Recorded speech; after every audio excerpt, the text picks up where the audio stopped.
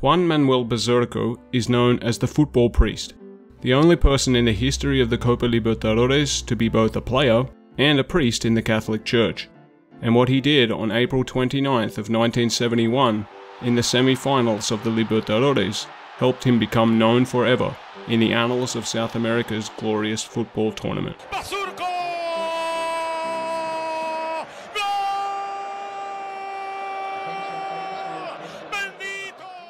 Bazurco was born in Spain in 1944, where he began playing football at an early age.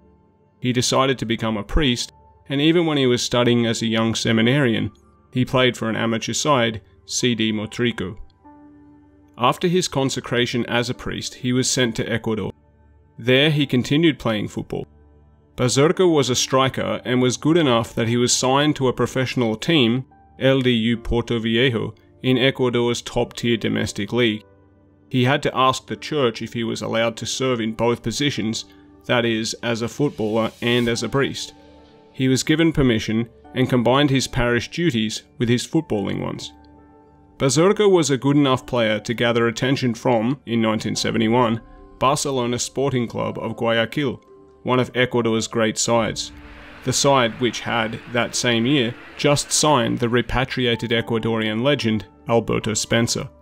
Spencer is to this day the man who has the most goals in the Copa Libertadores.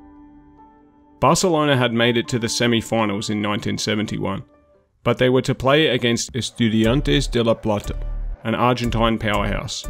Estudiantes had, at that time, never lost a Copa Libertadores match at home.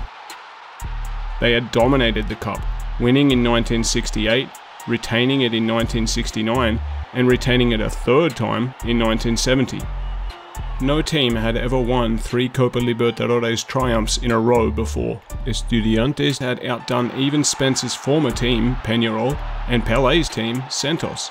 And on top of this three-time retention, Estudiantes had won the 1968 Intercontinental Cup against Manchester United. The 1971 Copa Libertadores semi-final game between Barcelona and Estudiantes was in Argentina at Estudiantes' home stadium. The stands were said to be boiling over with pressure, yet the first half was goalless. Barcelona kept themselves in the game despite attack after attack from the local side. In the 17th minute, as Spencer himself later described it, Barcelona counter-attack, then I passed the ball to the priest, who, when he saw the opposing keeper come out, kicked the ball and scored.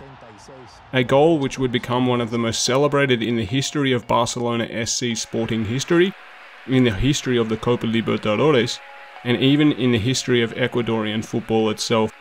The final score was 1 0. 1 0 in favour of Barcelona SC. The goal is to this day called the Silver Achievement, and Bazurco was called the father of the blessed boots and while Barcelona SC did not go on to triumph in the 1971 Copa Libertadores itself, the fact that the victory over Estudiantes was hailed across the nation of Ecuador shows how important it was. And the result, a giant killing, a truly unexpected victory. Bazurco only played a total of six games in the Copa, yet his time was indelible, a fleeting moment of true glory.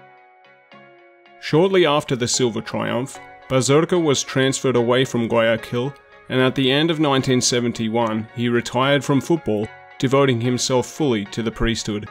Not long after, he returned to Spain. Later, he became a teacher, and he died in 2014. Almost a mythical figure, like so many other greats in the Copa Libertadores history, he lives on in the hearts, the minds, and the records of this tournament. A tournament which, like Bazurco himself, has no comparison.